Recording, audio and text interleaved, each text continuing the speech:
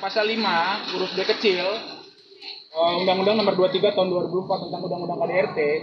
Di situ ada dikatakan penelantaran rumah tangga itu adalah bagian dari KDRT, Mas. Jadi kalau misalnya masih jonggal serumah atau dia meninggalkan rumah, nanti dia berpotensi memenuhi unsur KDRT lagi. Dia aja nggak ngelakuin KDRT dilaporin, apalagi dia menelantarkan nanti dibilangnya KDRT lagi gitu ya. Terjawab ya Mas ya, untuk yang kenapa masih serumah ya. Bang itu yang di fotonya kena barbel ya, Mak, Bang? Posisi terlapor atau pelapor, Bang? Eh, ini kita pakai dua-duanya, Mas. Dua-duanya, ini juga yang kita sampaikan di sebagai pelapor dan terlapor. Gitu. Ini masih Jong ada yang mau disampaikan?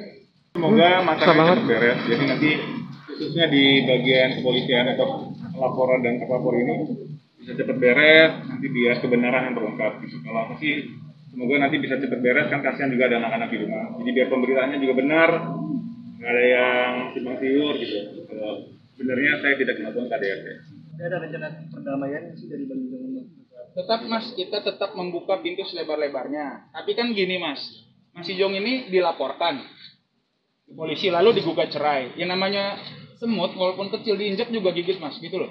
Ini hanya bentuk klarifikasi dan membela diri. Tapi tetap Mas Jong ini tetap membuka kita nih sebagai tim itu akan tetap membuka eh, perdamaian. Tapi sampai ini kita juga belum masih belum dapat undangannya gitu. Ada proses perdamaian tersebut gitu. Mas Ujang itu kejadiannya lama atau baru-baru ini Mas Ujang? Kejadiannya, kejadiannya sama yang seperti Dana Dena laporkan aja.